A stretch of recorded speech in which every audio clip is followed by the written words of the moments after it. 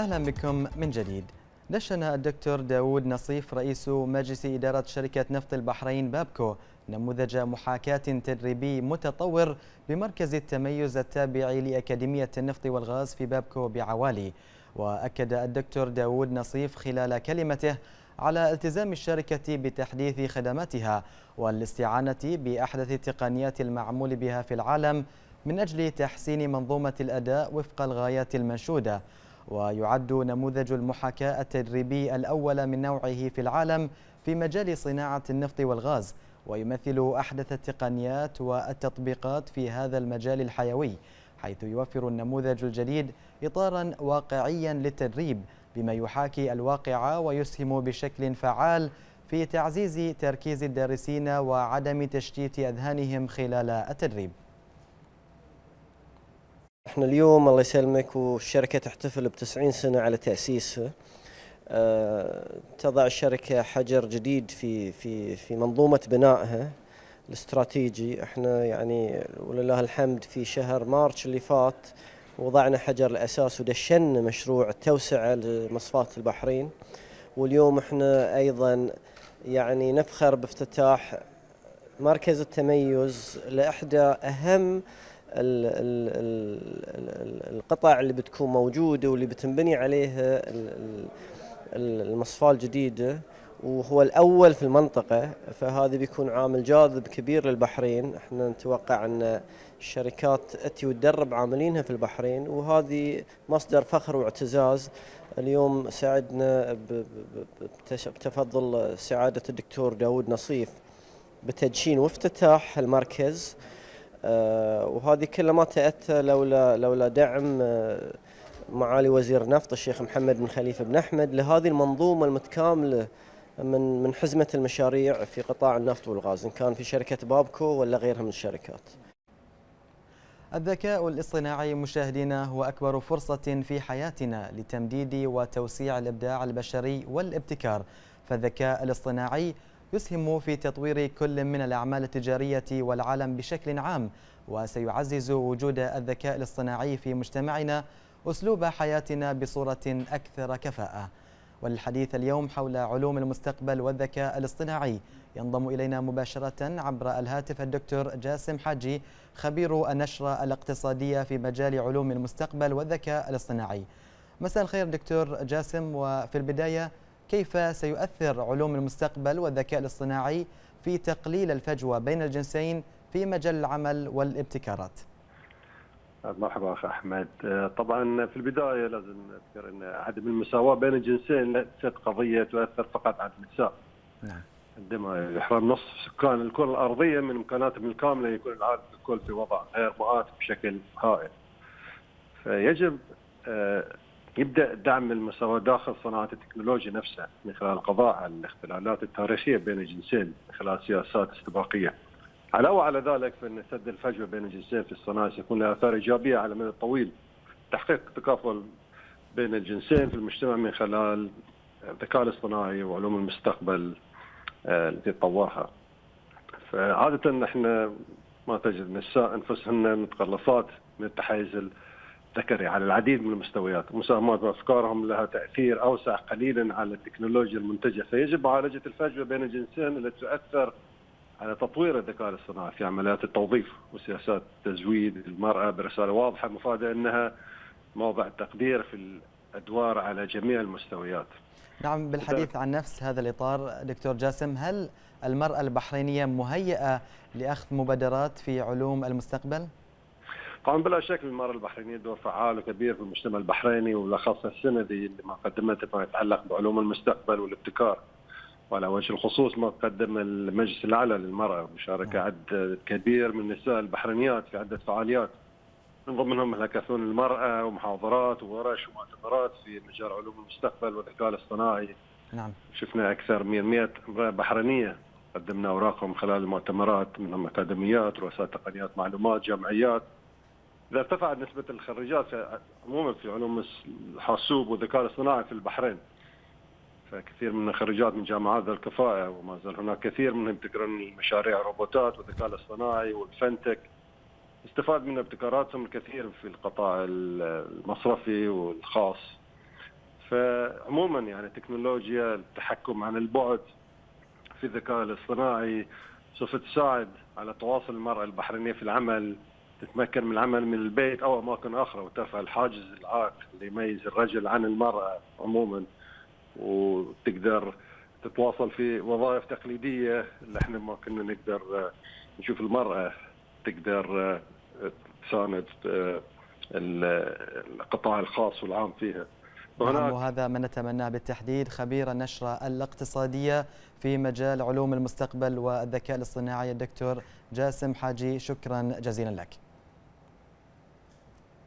أطلقت بورصة البحرين برنامج تحدي التداول الاستثماري تريد كويست للمدارس الثانوية والجامعات للعام 2019-2020 في نسخته الثانية والعشرين على التوالي. وانطلق البرنامج الذي عقد في بورصة البحرين بمشاركة الفرق الطلابية ومرشدي الاستثمار الذين سيقومون بمراقبة أداء الفريق وتقديم الاستشارات لأعضاء الفريق خلال فترة البرنامج. ويعد برنامج تحدي التداول الاستثماري تريد كويست برنامج محاكاة مالية تعليمية يهدف إلى تزويد الطلاب بخبرات واقعية تحاكي الأسواق المالية المحلية والدولية. ونتابع الآن أسعار صرف الدينار البحريني مقابل العملات الخليجية والعالمية.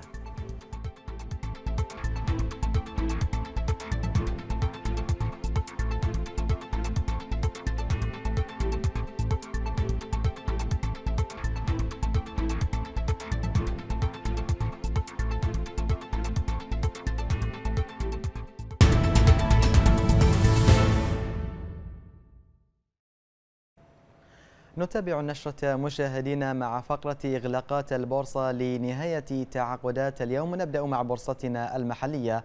فقد أقفل مؤشر البحرين العام على تقدم نسبته 0.17% مغلقا التداولات اليومية عند مستوى 1540 نقطة وذلك عائد لارتفاع مؤشر قطاع البنوك التجارية وأيضا قطاع التأمين. وقد بلغت كمية الأسهم المتداولة اليوم ثلاثة ملايين وثلاثمائة وسبع وسبعين ألف سهم بسيولة إجمالية قدرها مليون ومئتين وسبعة عشر ألف دينار بحريني تم تنفيذها من خلال 57 صفقة. وقد تركز نشاط المستثمرين في التداول اليوم على سم قطاع البنوك التجارية. ننتقل وإياكم مشاهدينا إلى إغلاقات باقي البورصات الخليجية وكما نتابع على الشاشة السوق المالية السعودية أقفلت بارتفاع بنسبة 0.36% بإقفال عند مستوى 7883 نقطة.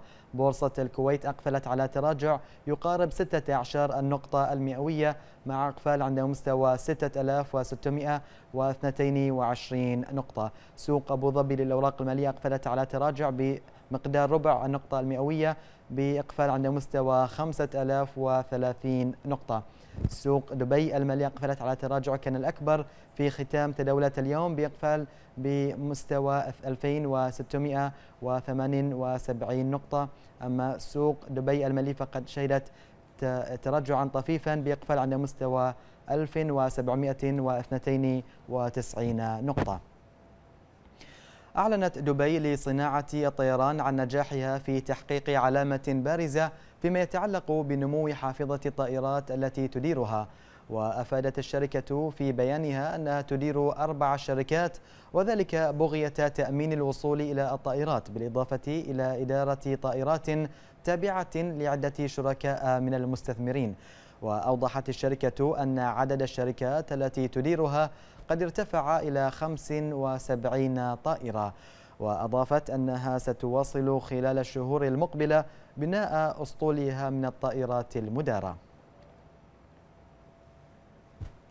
قال الرئيس المصري عبد الفتاح السيسي إن التحول نحو الرقمنة يمثل فرصة كبيرة في مصر وأن الدولة تتحرك بقوة في هذا الاتجاه الذي يمثل الحاضر والمستقبل الذي تريد القاهرة أن تمضي فيه.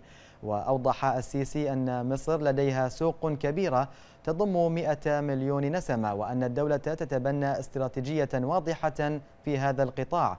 تضمن له النجاح ولا سيما في جهود مكافحة الفساد والحوكمة الرشيدة وتقليل تدخل العنصر البشري في الإجراءات الإدارية. وأعرب الرئيس المصري عن استعداد مصر للتعاون مع القطاع الخاص لإطلاق منصة تجارة رقمية في إفريقيا بما يدعم التجارة الرقمية في مصر والقارة ككل. نشرتنا مستمرة من تلفزيون البحرين وفيها بعد قليل. مبيعات الجمعة الأسود أو ال black Black Friday عبر الإنترنت في الولايات المتحدة تسجل 7.4 مليار دولار.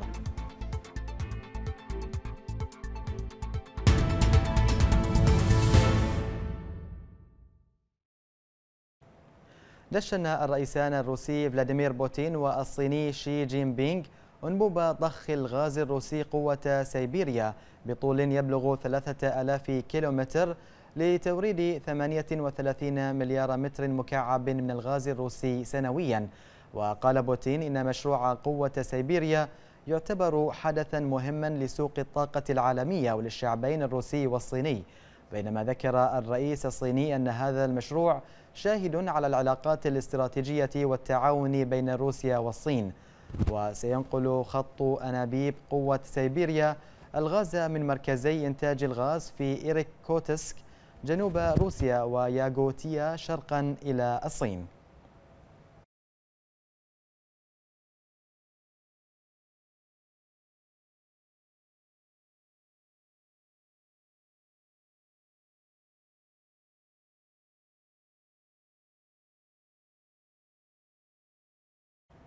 قال الرئيس الأمريكي دونالد ترامب إنه قد يكون من الأفضل الانتظار إلى ما بعد الانتخابات الرئاسية لعقد الاتفاق التجاري مع الصين.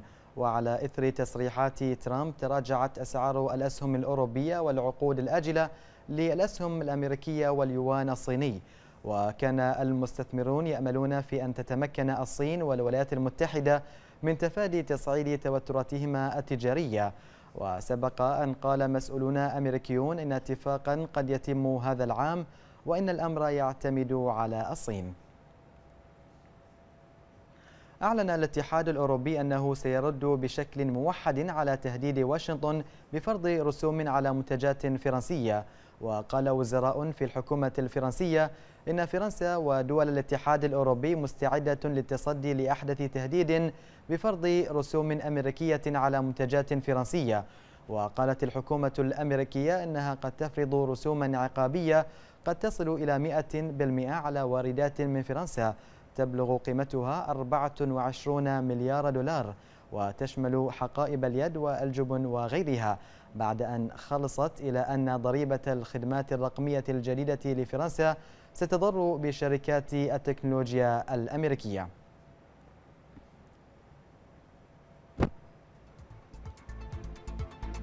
ونتابع الآن أبرز مؤشرات الأسواق العالمية وأسعار النفط والمعادن الرئيسية.